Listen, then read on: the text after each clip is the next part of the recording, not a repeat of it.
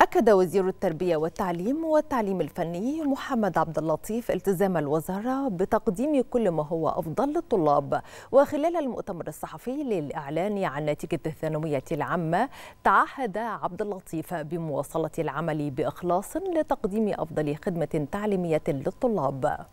مستقبل أبنائنا هو مستقبل مصر ونحن ملتزمون بتقديم كل ما هو أفضل لهم بإذن الله.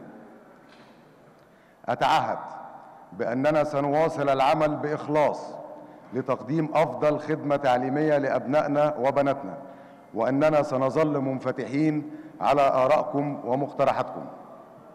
أشكركم جميعا على حضوركم ودعمكم ونتطلع إلى مستقبل يحمل في طياته نجاحات يستحقها أبنائنا وبناتنا. بدعم كامل من القيادة السياسية والتي لا تألو جهداً في توفير كافة سبل الدعم للارتقاء بالعملية التعليمية. كنت فرحانة جدا يعني ما كنتش متوقعة إن أنا ممكن أطلع من أوائل الجمهورية يعني. الموضوع كان مفاجئ يعني.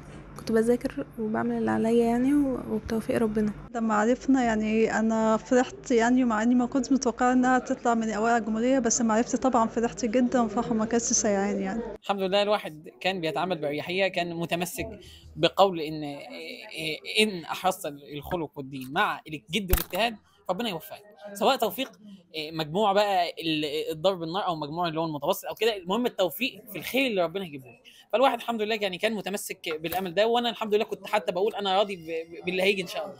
في قلق إن شاء الله من الترقب ولكن الحمد لله كرم ربنا واسع ربنا الحمد لله رب العالمين يعني. الحمد لله والشكر لله. اولا هذا من فضل ربي. أنا والله الحمد لله كنت متوقعة توفيق لزياد ولكن الحمد لله الحمد لله فاق معايا كل التوقعات.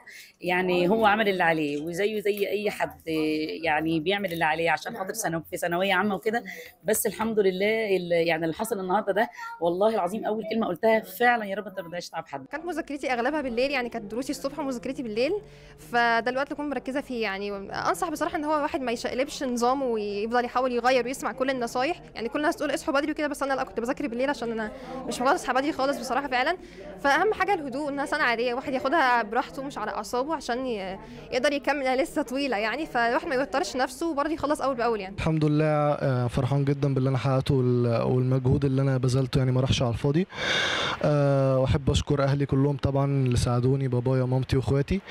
وأشكر المدرسين كلهم اللي درسوا لي كلهم ليهم فضل عليا طبعا الحمد لله.